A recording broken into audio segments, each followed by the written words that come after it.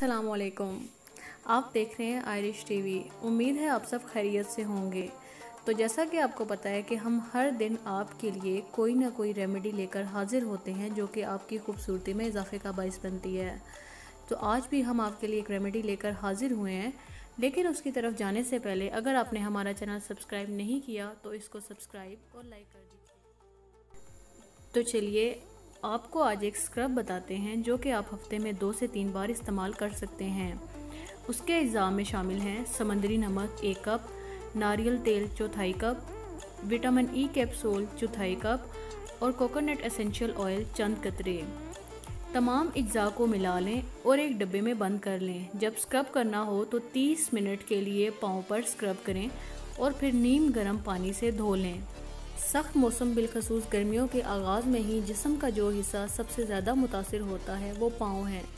ख़वान की अक्सरियत धब्बेदार जल्द और सख्त एड़ियों की शिकायत करती दिखाई देती है। मौसम के शदीद असरात सबसे पहले एड़ियों पर नुमाया होते हैं और इसकी वजह यह है कि इंसानी जिसम में पाँव की जल्द नहायत नाजुक होती है और मौसमी असरात को सबसे पहले कबूल करती है। दूसरी वजह सर्दियों का मौसम ख़त्म होते ही खुले जूते या चप्पल का इस्तेमाल है। सर्दियों में मोज़ों, जराबों और बंद जूतों की वजह से पाँव महफूज रहते हैं, लेकिन गर्मियाँ आते ही खुले जूते इस्तेमाल करना शुरू कर दिए जाते हैं और इससे पाँव की जल्द बुरी तरह मुतासर होती है।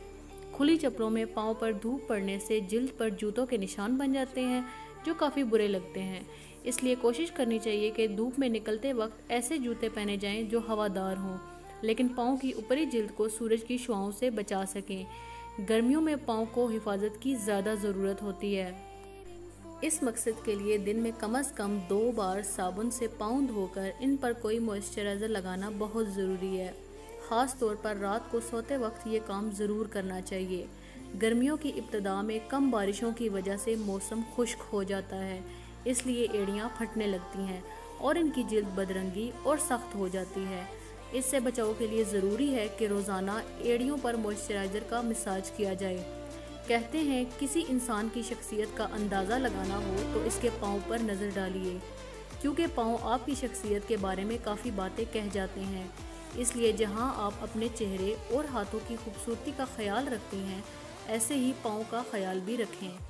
इस स्क्रब को हफ़्ते में दो से तीन बार अपने पाँव पर इस्तेमाल करें। आपको अपने पाँव की जल्द में वाजिया फ़र्क महसूस होगा। इस रेमेडी को इस्तेमाल करने के बाद कमेंट सेक्शन में हमें अपने रिव्यूज़ के बारे में बताइए। Thank you